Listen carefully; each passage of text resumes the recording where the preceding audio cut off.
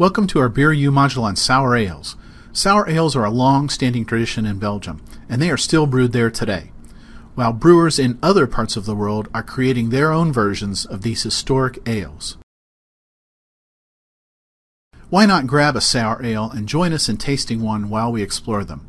Here's a list of sour ales that you can refer to when making your choice, but please feel free to bring along your favorite on our journey, no matter which sour ale it is. Sour ales seem to be gaining in popularity worldwide as beer drinkers seek out new and more exotic flavors. But sour ales aren't really new, they're a time honored tradition in Belgium where they've been brewed for centuries. In general, sour ales are different from other beers in several respects. Sour ales often rely on wild yeast and bacteria to ferment them. The sort of microorganisms that other brewers guard against are just the type of thing that brewers of sour ales seek out and promote. Yeast and bacteria that would wreak havoc in most beers are exactly what sour ales rely on to create their characteristic tart flavors. Sour ales can also take months or even years to ferment.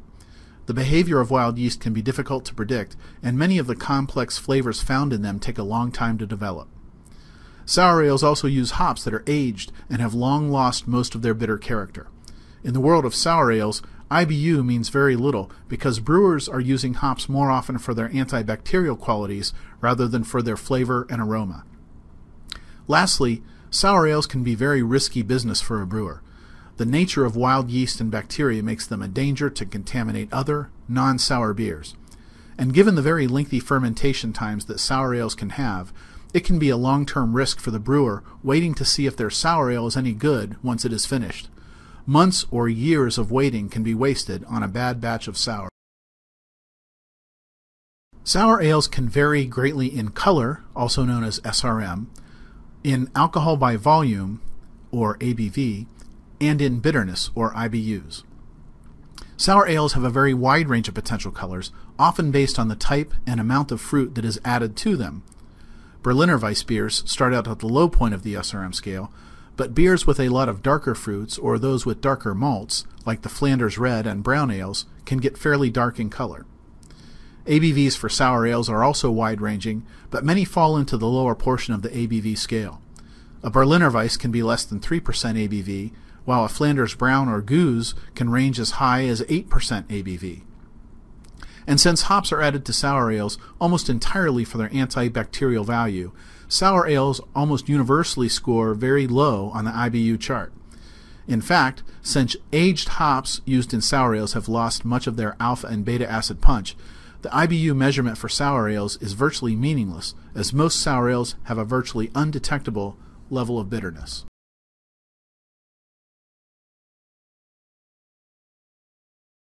There are six distinctly different types of sour ales recognized by the BJCP, or Beer Judge Certification Program. Those types are the Berliner Weiss, the Flanders Red Ale, the Flanders Brown Ale or Oud Bruin, the Straight Unblended Lambic, the Gueuze, and the Fruit Lambic. Berliner Weiss is a sour wheat beer that evolved in the city of Berlin, Germany. Sour beers had been around Berlin for centuries, and it is even said that Napoleon's troops enjoyed the Berliner Weiss after invading the city, dubbing it the Champagne of the North. A strain of bacteria called Lactobacillus delbrueckii helps to provide the sharp tang and sourness to this beer. Lactobacillus delbrueckii produces lactic acid in the beer, which is responsible for its sourness. In the past, Berliner Weiss beers were one of the very rare beers that did not undergo a boil during the brewing process. This might be the reason that it evolved as a sour beer, since bacteria and other contaminants were not being destroyed in the boil process, as happens in every other beer style. The unboiled wort invited contamination from many sources that could create a sour beer. Today, all brewers boil the wort when making Berliner Weiss, and later add the souring yeast, or Lactobacillus delbrueckii, when other yeast is added. Berliner Weiss is typically quite low in alcohol content, Many examples of it range from 3 to 5% alcohol by volume. Because of its acidity, Berliner Weiss is often, though not always, consumed with the addition of flavored syrups. Traditional flavors include the green woodruff syrup, made from tree bark, and raspberry syrup, but many other flavors can be found today. Berliner Weiss is still around, but not easy to find outside of Germany. While it was the most popular alcoholic drink in Berlin a hundred or more years ago, it has faded in popularity since. However, in the summer, it is still easy to spot Berliners drinking Berliner Weiss through a straw. As of 2013, the Berliner Kindl Brewery still produces it and serves it with as many as nine different flavored syrups. Flanders is the northern half of Belgium, and the Flanders Red Ale originates in West Flanders. Flanders Red Ales have been brewed in the region for hundreds of years and are a tradition there. Because of their complexity, oak aging, and acidity, these beers are sometimes regarded as the most wine-like of beers. In fact, many wine lovers will enjoy this beer style even if they do not consider themselves beer drinkers. Flanders red ales are intensely fruity in character. These flavors are contributed by the dark malts and accentuated by the acidic and tangy character of the beer. This beer is aged in oak for up to two years, where it continues to develop character from the wood and from the microorganisms living in it. In at least one brewery, the oak vats called foeders are as much as 150 years old. The finished beer is actually a blend of both young and old beer from various foeders. The microorganisms responsible for the tart character of the Flanders Red Ale include Saccharomyces, Lactobacillus, Brettanomyces, and Acetobacter. The Flanders Brown Ale, also known as Oud Bruin, is a product of the East Flanders region where it has been a tradition for centuries. Flanders brown ales are tart, but also showcase a deep malty character. These beers are made with a substantial amount of darker malts that contribute a complex malty character. Unlike the Flanders red ales, which are oak aged, the Flanders brown is aged warm in stainless steel tanks. Several microorganisms contribute to the sour character in this beer, including Saccharomyces, Lactobacillus, and Acetobacter. Another traditional sour ale from Belgium is the Lambic.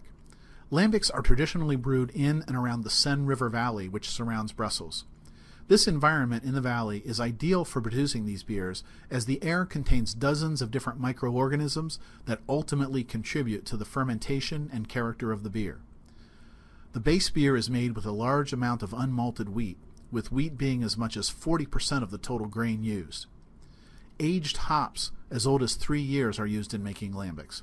This is done because the brewer is not interested in getting any bitterness from the hops, most of which is lost after three years.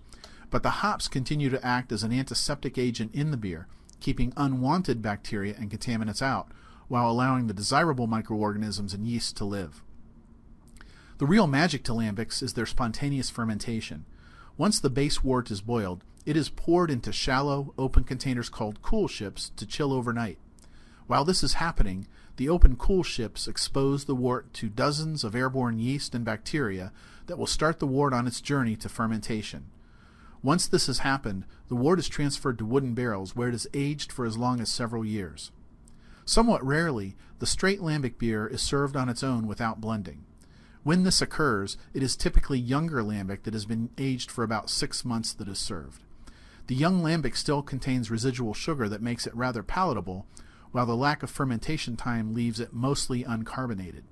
However, much of the lambic is ultimately aged in barrels much longer for its eventual use in blending to create gueuze, the next sour ale that we'll discuss. Gueuze is a blend of aged lambic. A typical gueuze will be a blend of both young and old lambic ranging from 1 to 3 years in age.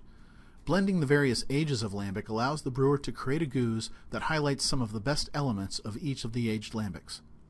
Unlike the young lambic that is sometimes served straight and uncarbonated, most gueuzes are quite effervescent, benefiting from the longer fermentation times of the older lambic blended into them. Many inexperienced gueuze drinkers perceive the gueuze to be only pungent, sour, or funky in character, but a quality gueuze showcases a wide range of sometimes subtle flavors and is not built on funk alone. Gueuze does, however, showcase the flavors referred to as wild or horse blanket. Gueuze has gotten more sweet over the years as tastes have changed and brewers have adapted to a changing consumer base. In fact, some brewers now feature multiple versions of their gueuze in order to appeal to various drinkers. Quite often, more traditional versions of gueuze are labeled as oud gueuze, which translates as old gueuze. Fruit lambics are gueuze which has been blended with fruit. This fruit addition started to happen as publicans tried to appeal to a wider range of drinkers and to increase the variety of beers they could offer. Typical fruit additions include cherry, known as kriek in Belgium, raspberry, known as framboise in Belgium, and muscat grapes, known as Druivenlambic in Belgium. But there are many more variations available. The fruit is added in various ways. Some brewers use whole fruits, including stems and pits. Other brewers choose to add pieces of fruit or fruit extracts. The original purpose of the fruit was to add character, not really to sweeten the beer, so tart and acidic fruits were typically chosen for fruit lambics. Over the years, some brewers have chosen to sweeten their beer by adding sugars to it, which is not traditional. As with gueuze, traditional versions of fruit lambics are sometimes referred to as oud or old in the name of the beer. Beers that are sour are high in acid content, which the drinker perceives largely as a sour taste. To create acid and the resulting sour flavors, some not so typical yeast and microorganisms are used. Many different strains of yeast and bacteria, over 80 of them in fact, have been identified as souring agents in beer. Wild yeast strains can produce sour flavors. These strains are different than the normal Saccharomyces cerevisiae used in the fermentation process, and there are many different variations of them. In Belgium, they are common to the Senne River Valley and help to create lambic beers in that area. Lactobacillus are a bacteria that produce lactic acid, which creates a sour character. In some beers, lactobacillus are a common reason for spoilage and unintentional sour flavors. Lactobacillus are also responsible for making sourdough bread sour. Brettanomyces, or Brett for short, is a yeast that produces the so-called funk or barnyard flavor in sour beers. Brett is common in wine and is often considered to have a positive influence on its flavor at low or medium levels. In both beer and wine, Brett can contribute greatly to the complexity of flavor.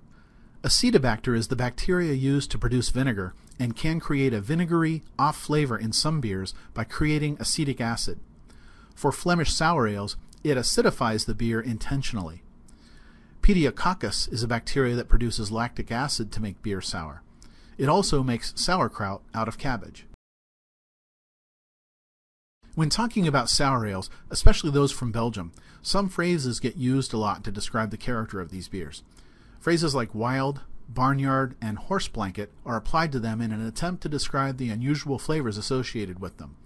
These phrases can be intimidating to some drinkers. These flavors are provided by microorganisms and are common in the spontaneously fermented lambics and gueuze, and in other beers that are fermented with Brettanomyces or Brett. It is typically Brett that is responsible for the wild character, and many brewers prize it for that reason, while many drinkers appreciate those beers containing this character as among the finest in the world. These terms are not meant to describe the beer as sour. In fact, the flavors they describe stand quite apart from sour flavors and can be present even in very bitter beers. Nobody wants to drink a beer that tastes like horse blanket, but I urge you to not let the term scare you away from drinking some amazing beers.